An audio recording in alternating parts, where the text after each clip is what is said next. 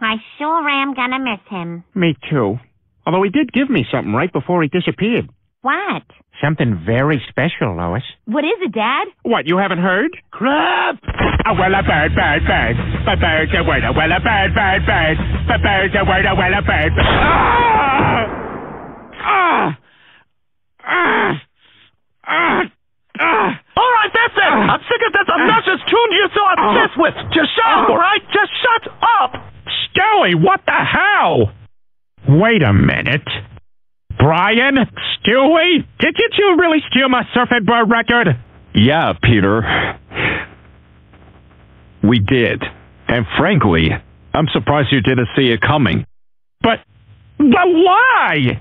Because everybody in this house is sick of that god-forsaken song, Peter.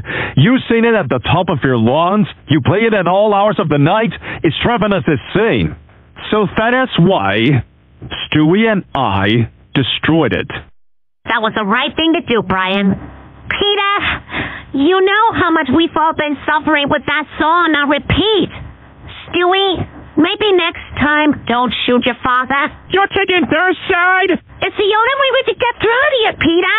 We've talked, we've begged, we've pressed, but you just wouldn't listen. I can't believe this.